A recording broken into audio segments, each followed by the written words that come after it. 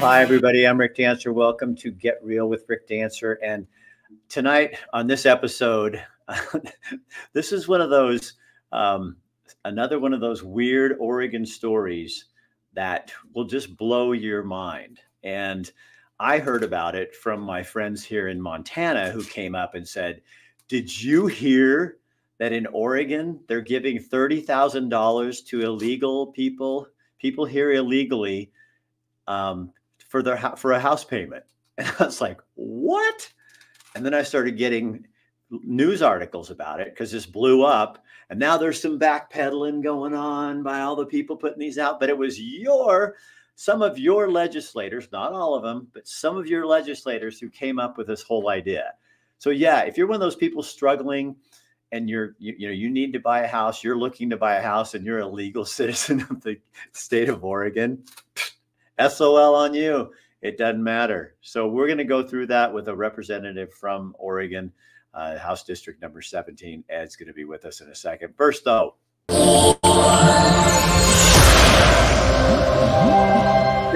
Dr. Michael Bratland. This is a story that he would love to be a part of. Having this on. This is why he sponsors us because he thinks what we do is important. He thinks it's important people have a voice, and we are really anti censorship.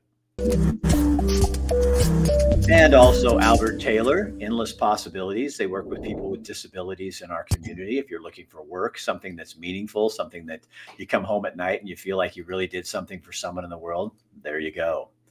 Also, Greg Hinkle, New American Funding here in Helena, Montana. He can help you put together mortgage plans for Oregon, Washington, Idaho, and Montana. He does live here in Montana.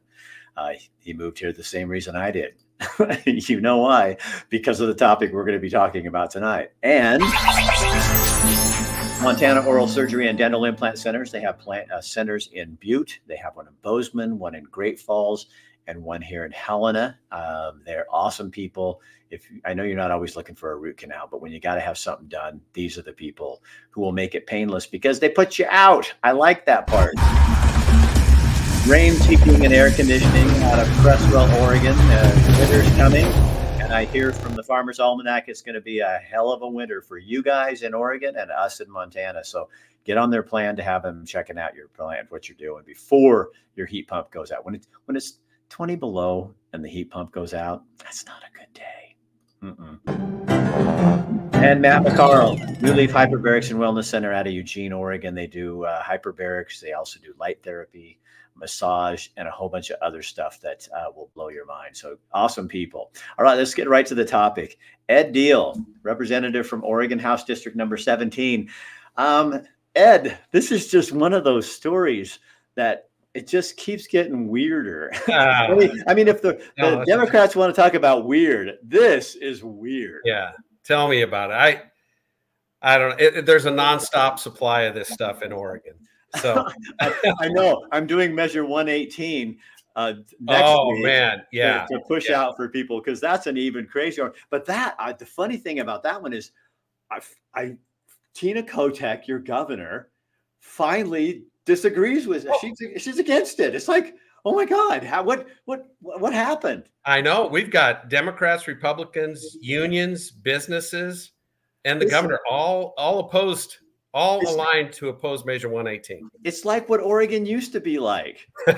okay, so talk. Let's talk about this. Yeah, how how this works because people in in other parts of you know, first of all, a whole bunch of people in Montana, Idaho, place like that are all going, is this for real? Now, the Oregonians are yeah. already up to speed. They know how crazy this is. But I think a lot of Oregonians did not know this was going on. No, they didn't. And so this all stemmed from a bill that was passed in 2022. I'm a new legislature legislator. I discovered it in 2024 when uh, Representative Janelle Bynum introduced a bill to add more funding to it.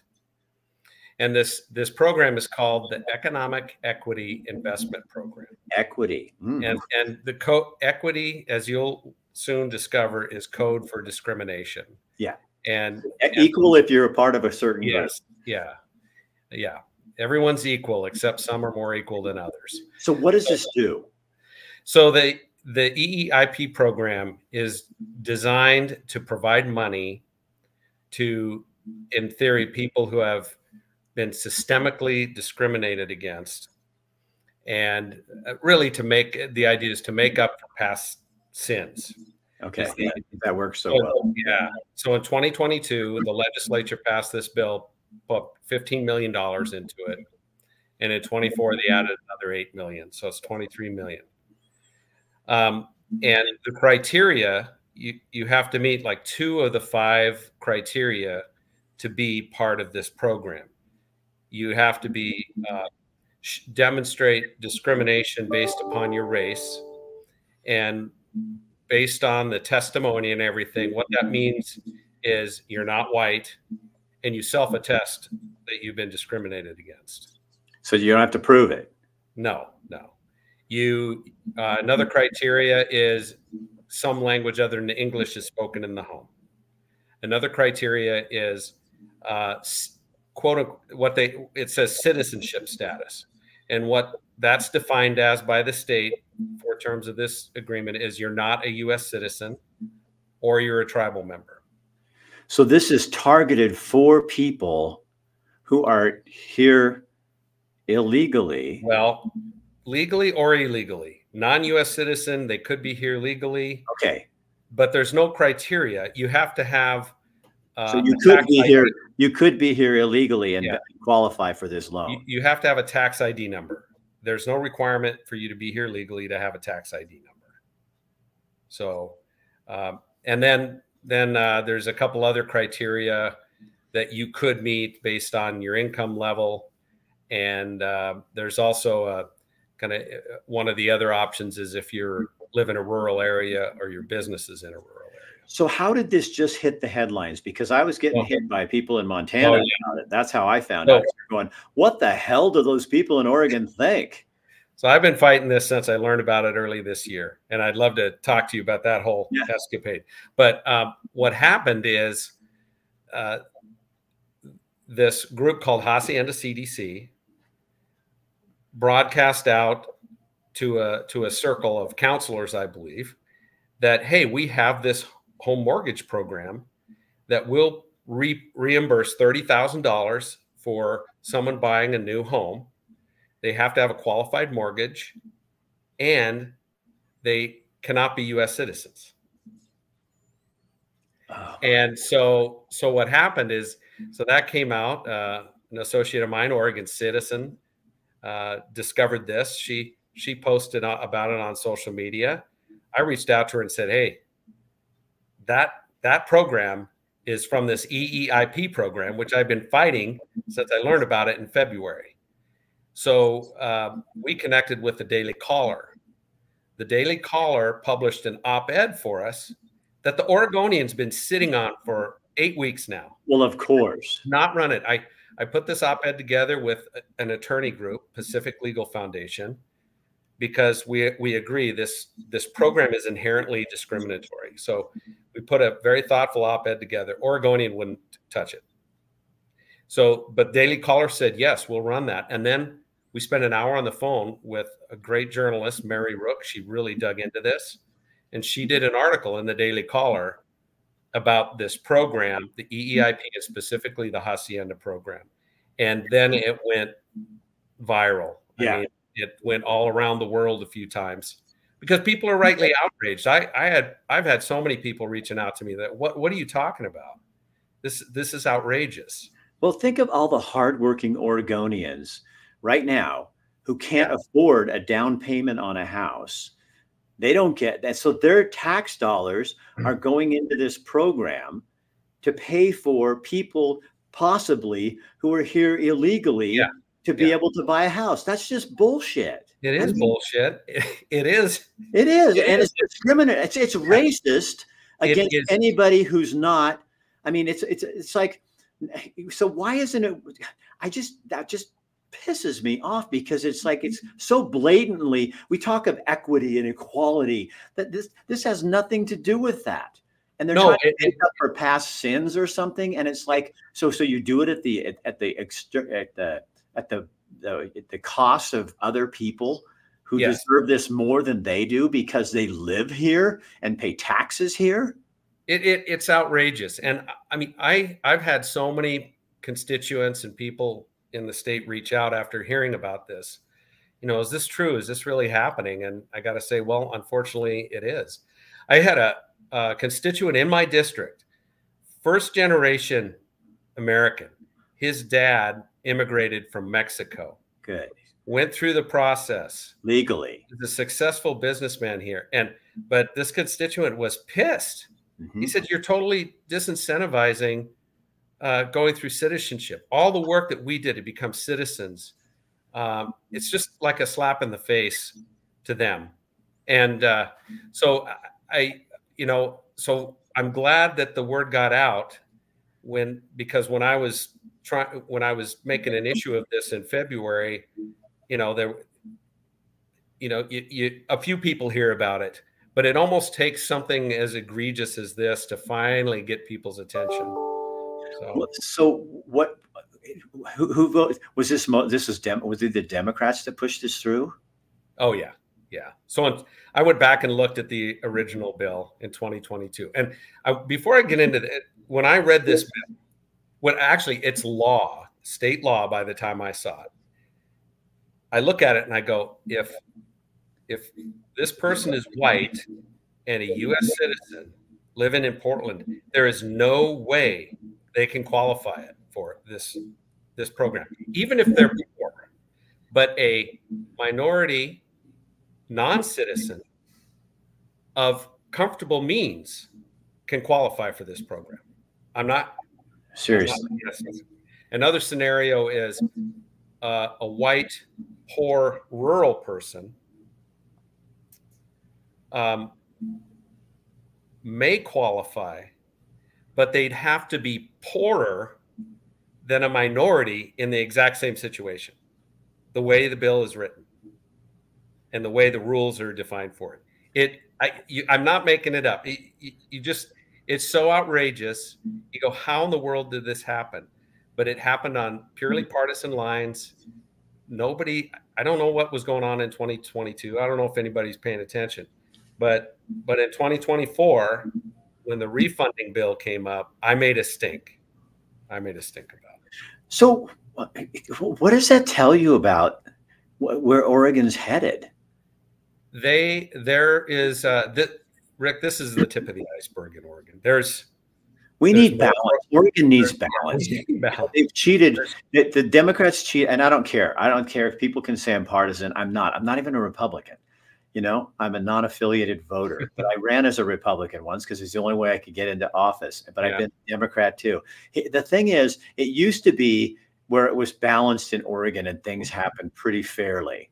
But they've redistricted and, and redrawn the lines and cheated with those lines and made it impossible for Republicans to get any territory because because most people in Oregon, the biggest voting bloc in Oregon is non-affiliated voters. It's not Democrats. It's a huge block. And I, I think a lot of voters just really aren't informed. For example, this program, like I said, has been around since 2022. Nobody raised any issue with it until about two weeks ago. And that's because of our efforts to get more public attention on it. So how you know and shame on Oregon Live for not, you know, not publishing a Oregonian, you know, for not publishing it. They're still they're still sitting on it. So it's up to them.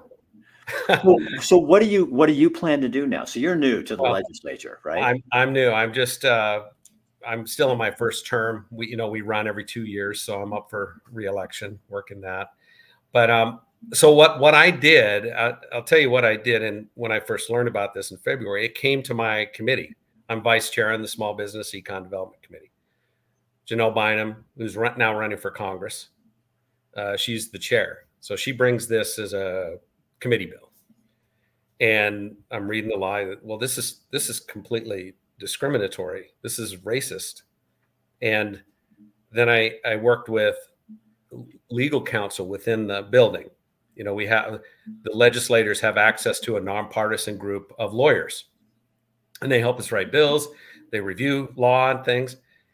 The state's own legal counsel came back to me with a eight page opinion detailed saying this is undoubtedly unconstitutional this bill is unconstitutional and the reason they're so confident in that is because that Supreme Court case, Students for Fair Admissions versus Harvard, Uh-huh. that case, made it crystal clear you cannot discriminate either directly or indirectly based on race.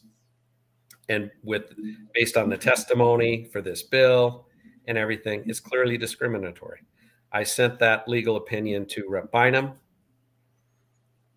I get no response. Now tell people who that is so that they're not in your. Yeah. So Janelle Bynum is, uh, I can't remember the House district she represents.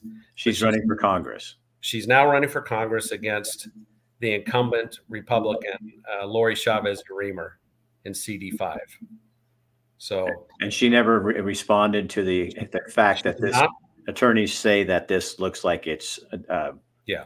unconstitutional. she she didn't respond. Um, I I did reach out to her and speak to her about it, and I discovered that you know she I, asked, I said, well, this is unconstitutional. She said, do you agree with that? I said, yeah, it's the Constitution. This is reverse racism. She says, there's no such thing. No, that's such horseshit. Yeah.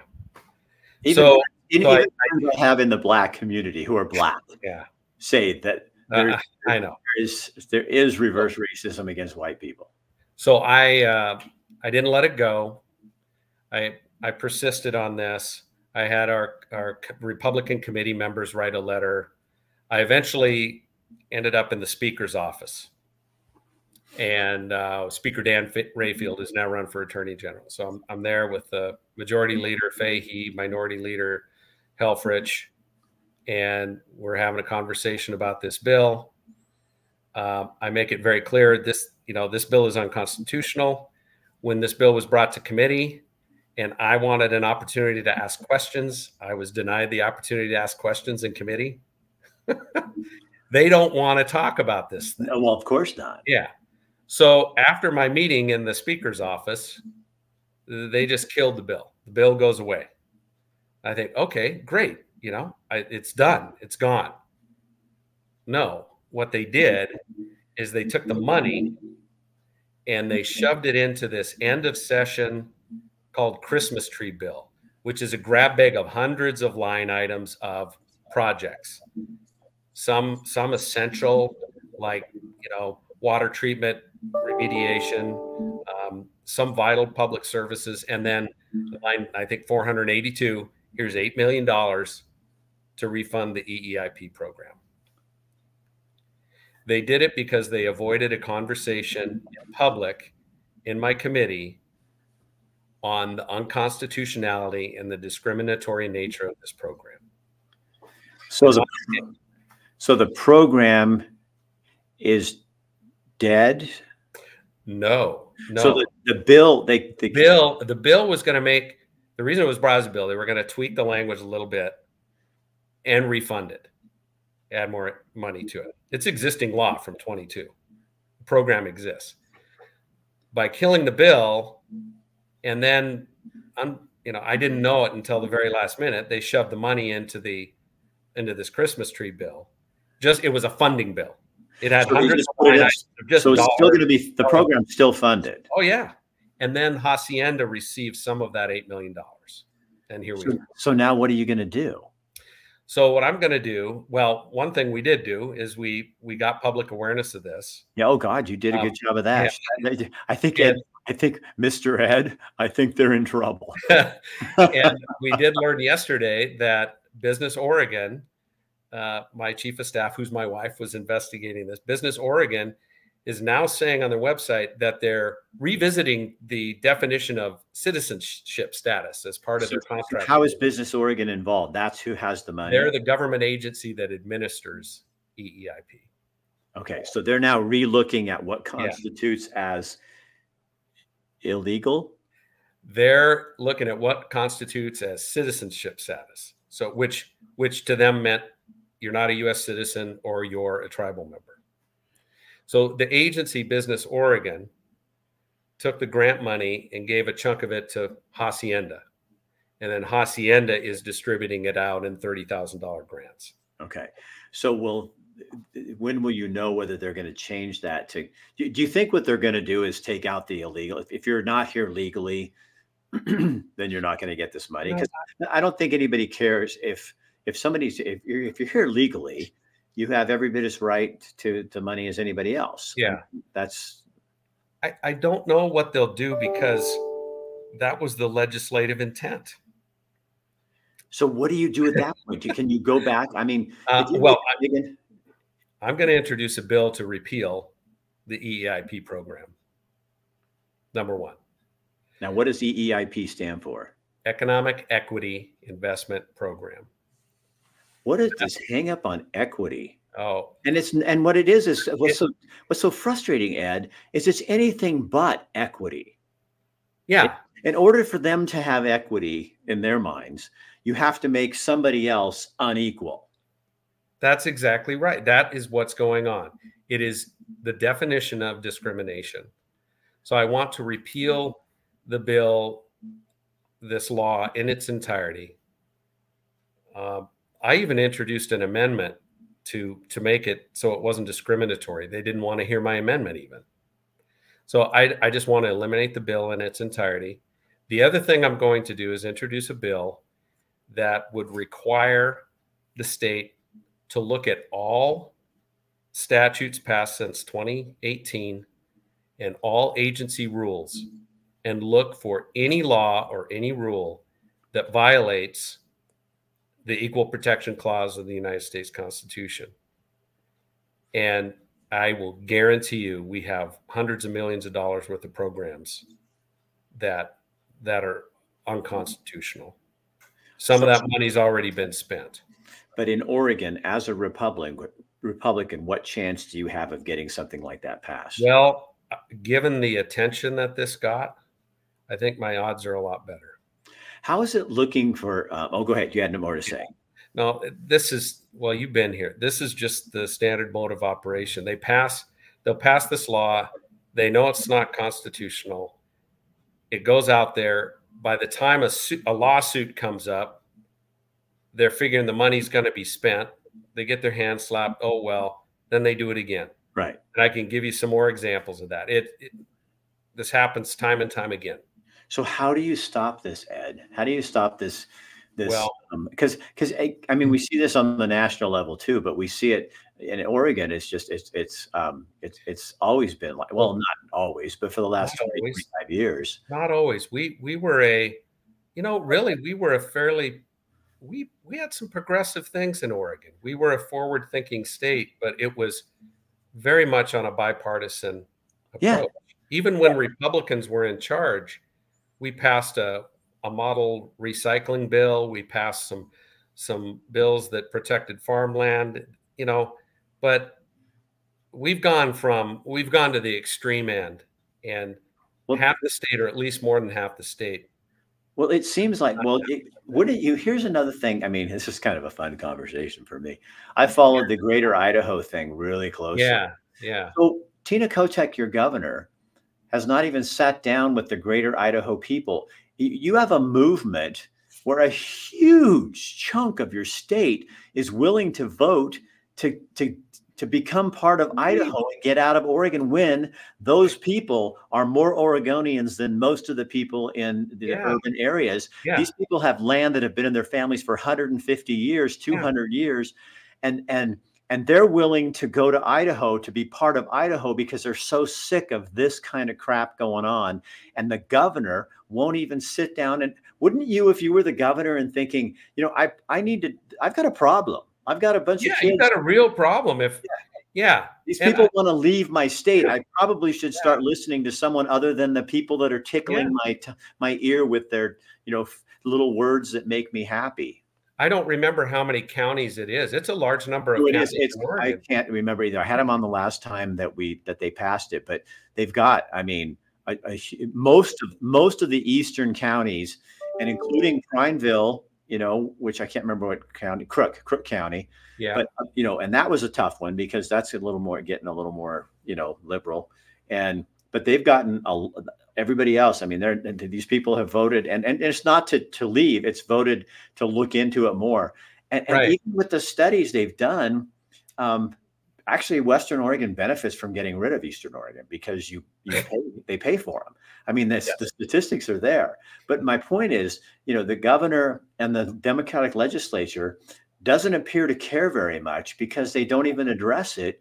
And, and that's how they know how much power they have that they don't have to pay attention to anybody else. That's how they think anyway. So so this is the deal in Oregon and this is a warning for Montana. So yeah. like I told you before, I'm from Montana. I grew up in Plains, born and raised.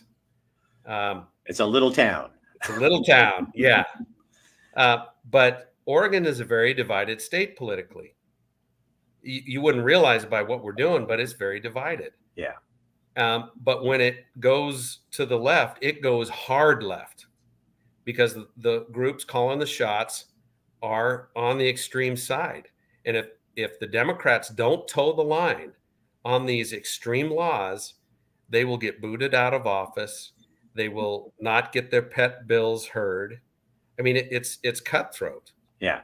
So even a moderate Democrat, once they get into that building, they're not a moderate anymore. They That's can't the be. They, they, can't. No, be. not on not on the big issues that we care about. On some issues, yes, but not on the big issues that we care about. So, but it's we're talking a few. You know, our the Republican governor lost this state by forty thousand votes. We lost the majority in the House by I think forty two hundred votes. It's that close. It's that close. So, what's the message to Montana? So, the message to Montana is it's coming. And it doesn't take much to tip it over the edge. That's the message. So if you if you're in Oregon, we have seen every institution taken over. If you want to save your state, you better get engaged in city councils and school boards at every level of government and other institutions and reinforce them because the stuff is coming.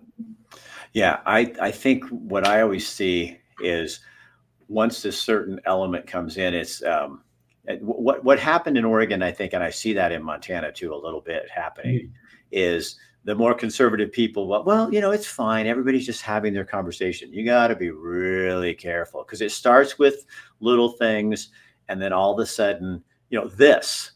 People well, laugh, yeah. and, and the other question I got a lot, Ed, here when I first moved here is, did you guys really legalize drugs with a measure? Yeah. And I said, yeah. And it sounds crazy, and it is, but it's not it, the step from here to here is not that wide.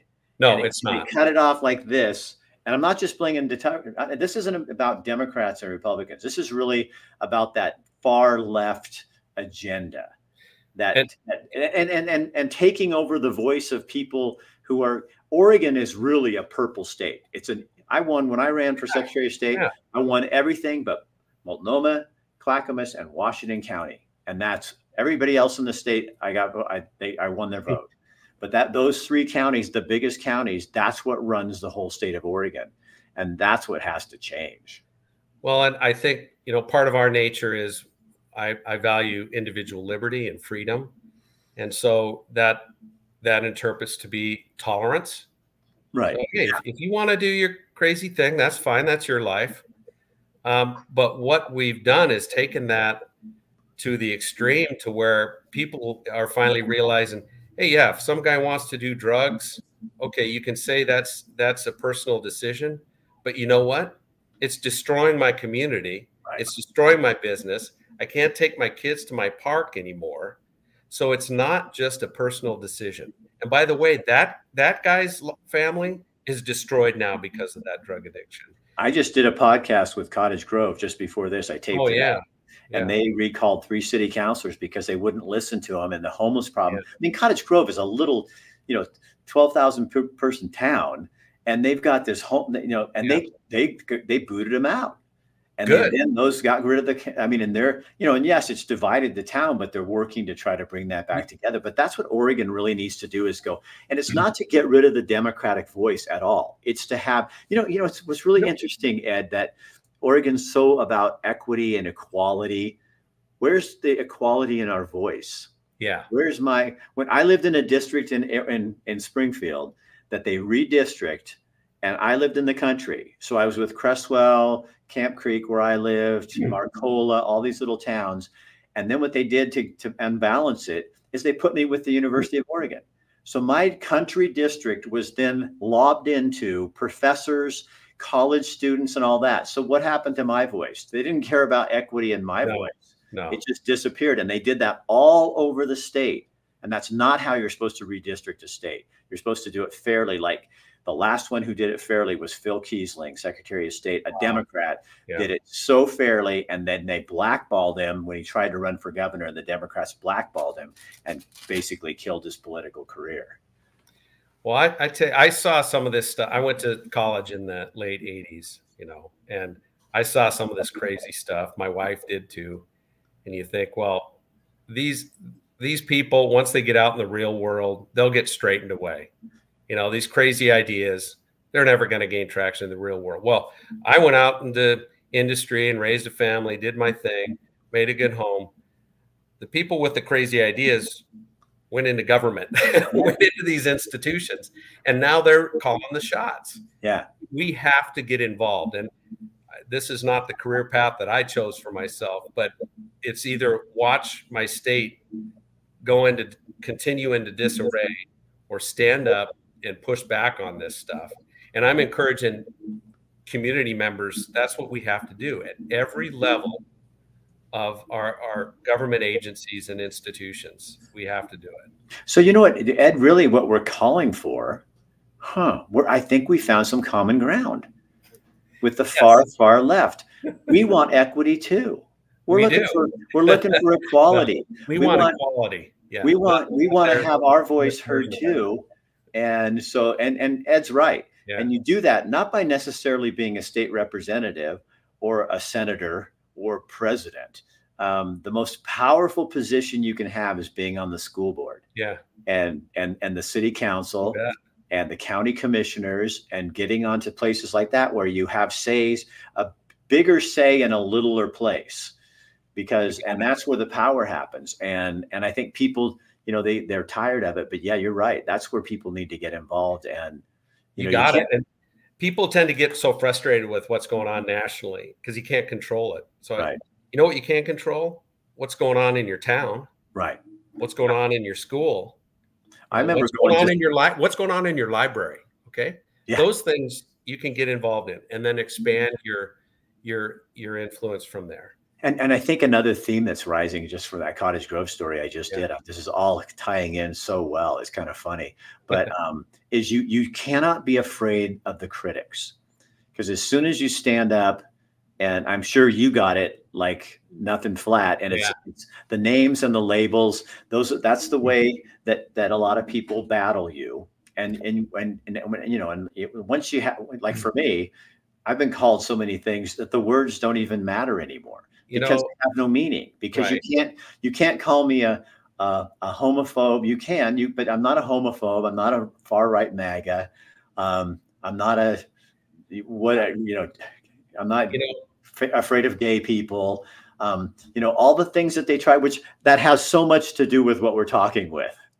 you know what I mean? That's what yeah. you have to look at how much sense it doesn't make, and then you got to just take a stand and speak out. And you know, and somebody asked me the other day, when do you do that? I said, if you're at a party and somebody says, oh, I think that's a, you know, measure 110 is a great idea. And you say, well, actually, my uh, really good friend uh, died of a drug overdose, and I think it's a stupid idea.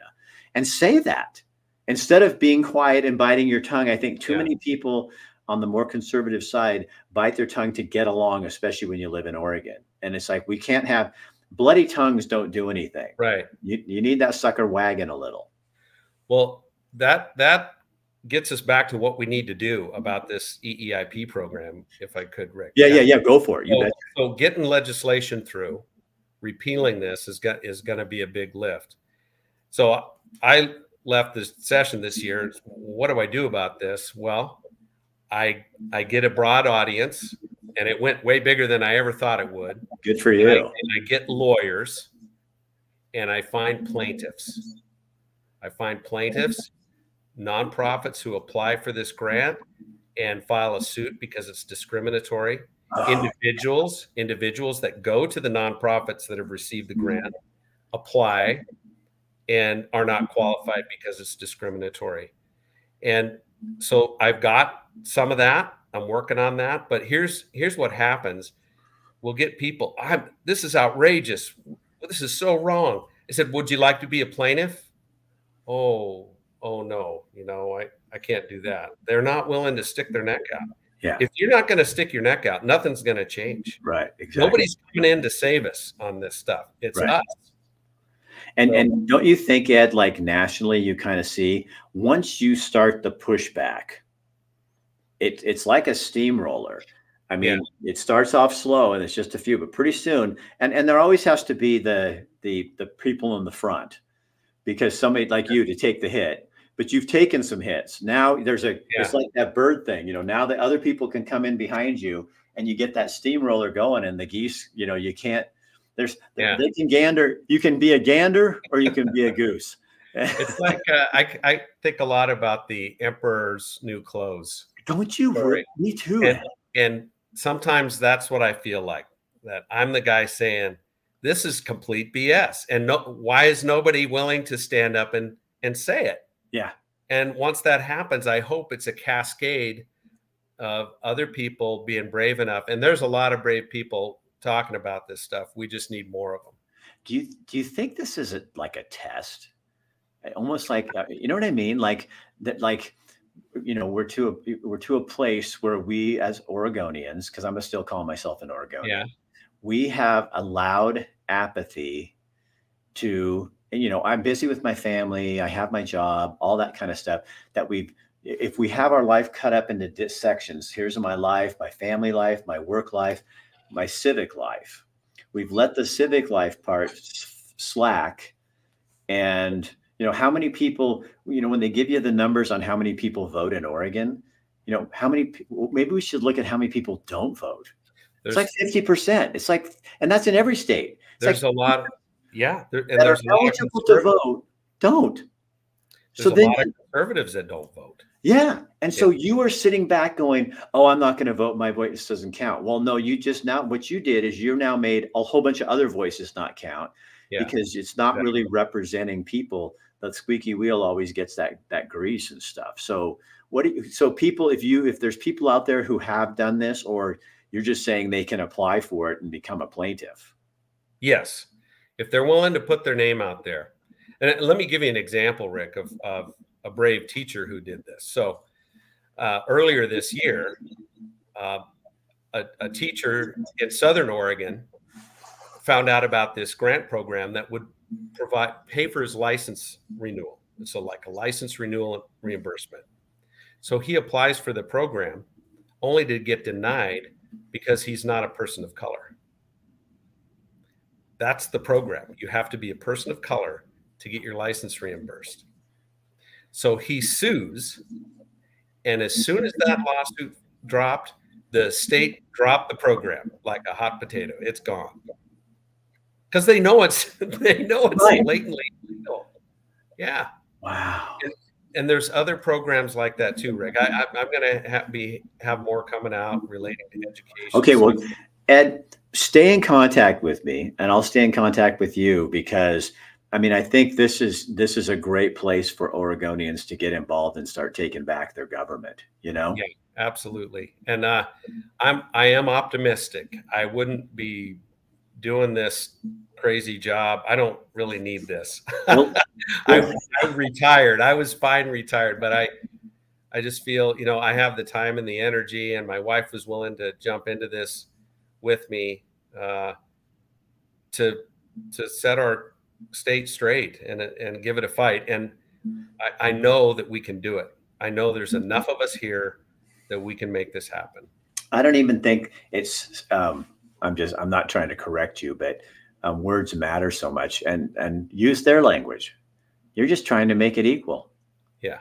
We're trying Yes. to bring equity equity back to Oregon. I don't use equ- equality. Yeah, equal. Exactly. It really is equality. Yes. I'm trying to bring equality back to Oregon because it's in our constitution, and we want to make sure that everybody, no matter what color. I just heard an interview with a guy on uh, Jordan Peterson who wrote a book called um, Colorblind, and the peop- Yeah. people are just bashing him for it, but he's really saying, "Oh no, that's mm-hmm. considered discriminatory." Yeah, he's he's saying we that's that's how it started back in the '60s. Is it was supposed to be that we were colorblind. Martin Luther King talked about being colorblind. Right. And I just talked about that in a post today in response to this EEIP. That's the generation I'm from. Yeah, me too. That's what I grew up with. And when it, you see this, you realize what an outrageous injustice it is. Yeah. But to all people, to all people, all people. Yeah. The, the tough part is, Rick, is there are people in the legislature that truly believe that this kind of reverse, I, I call it reverse discrimination. They don't call it that, but they think that's okay. Yeah. Uh, Ibram X. Kendi talks about how to be an anti racist. He talks about the only way to fix past discrimination is discrimination today in the opposite direction. That's what he says. Well, and I, people and people buy into it. Right. Well, that's yeah. why God gave us teachers that taught things like critical thinking. critical thinking. Yeah. Yeah, something we need to bring back in our schools. I know.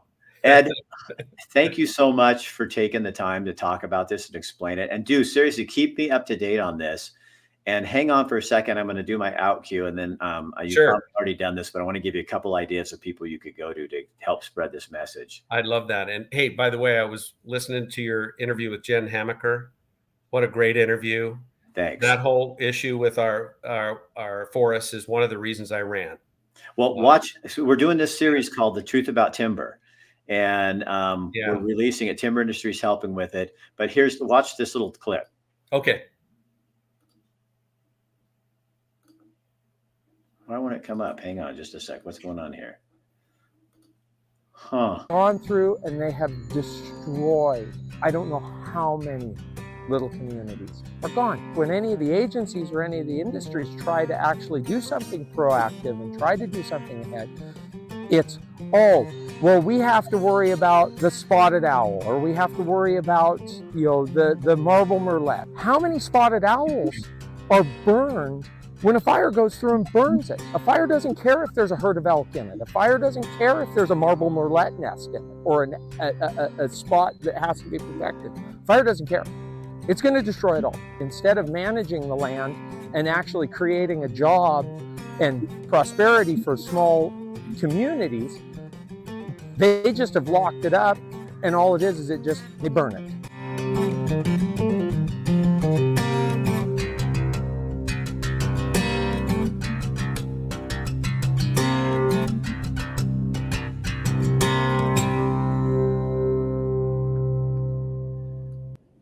So people can watch that on rickdancer.com. You can go to YouTube. Anything under Rick Dancer will have that. We're uh, changing the message, the narrative. That's to great. go back to what you know. You and I love old growth trees, and and right now the biggest threat, according to the conservation people, not the timber industry, although they agree, but according to the conservation people, the biggest threat right now is wildfire. Yes. And we're allowing our forests in Oregon, Washington, Montana, and Idaho to and California, northern, to burn up. And yeah. the, and when I was living out in Camp Creek in Springfield, we had got evacuated that on Labor Day, all those horrible fires. They they they wouldn't go in and do the plans that the BLM has to to thin those forests to protect the spotted owl, and their their lack of knowledge ended up destroying all that spotted owl habitat. So the very thing they were trying to do to protect old growth and spotted owls, they didn't do their plan that their resistance to the plans is what ruined it. So those are anti-timber groups. You and i are environmentalists. We truly we, care about it. That's the other thing you know we yep. need to take that back. Yeah i am. we're, the, we're i'm i'm on the side of compassion. I'm on the side of environmentalism. Yep. They they we've somehow let them take those names over and it's bs we got to take those names back. Yeah we're that's we take it back and we back. own it all right, my man. I will. Um, I'll t- I'll talk to you in a, in a few. Hang on just a you second. bet, Rick. All right. So there you go, you guys. Uh, I think Ed's giving you some great advice. That's the facts. That's what's out there. Um, not only is it going to people are designed for people who are not here legally, which is crazy, but it's also designed for people that are um, only with one, you know, who have color skin. So if you're white, you're not right. And that's what they're saying. And that's got to change because that's not constitutional. And uh, it doesn't matter what you feel, it's what's real that matters. Uh, share this on your page, let other people see it. I'm Rick Dancer. Thanks for being with us. Um, we'll see you next time.